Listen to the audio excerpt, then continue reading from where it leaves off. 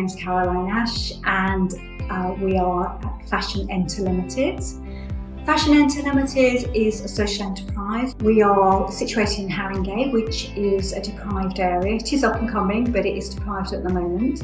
And um, we take these long-term unemployed students in and reskill them and re-educate them and we're teaching them how to do industrial pattern cutting and industrial sewing or stitching. Um, and that means that they can, after they've done that piece of education, they can either go and find a job because they've been industrially taught, so they can go into businesses that um, need industrial pattern cutters and stitchers, um, they might want to do further education, which we help them with. They might want to start their own business, uh, so you know we help them in any way we can. Uh, we have had some real success stories um, from people that come from very deprived backgrounds and are now at Central St Martin's doing a fashion degree.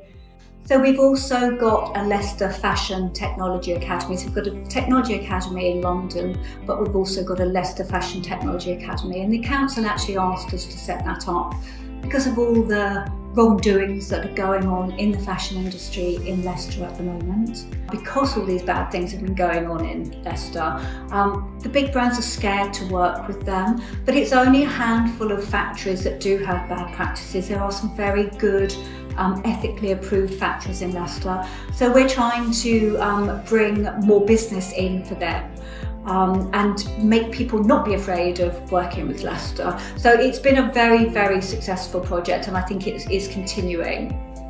So today I would also like to introduce you to two of our employees. Before we were in this building, it was an ex-Remploy building.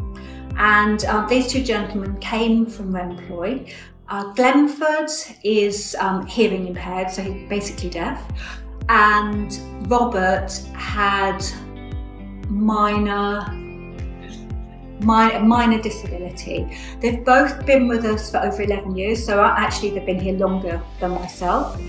And I just wanted to introduce you and tell you um, what jobs roles they have with us.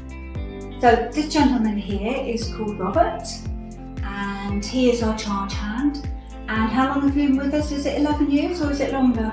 No, slightly shorter, it's about 10 and a half years. Oh, okay, okay. So pretty almost, good going, Robert. Almost 11. The next gentleman I'm going to introduce you to is Glenford.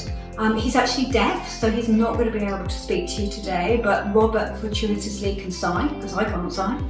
Um, so um, he'll be asking Glenford a couple of questions. So Robert, would you mind asking Glenford how long he's been here?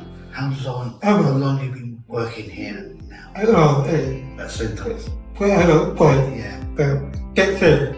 About 10, Pero, get 8, there. 11 years. Get there, get there. What for? Get there. What It's for? over 10 years, about the same as me. Oh, And do you do you enjoy your job? You, you enjoy your job?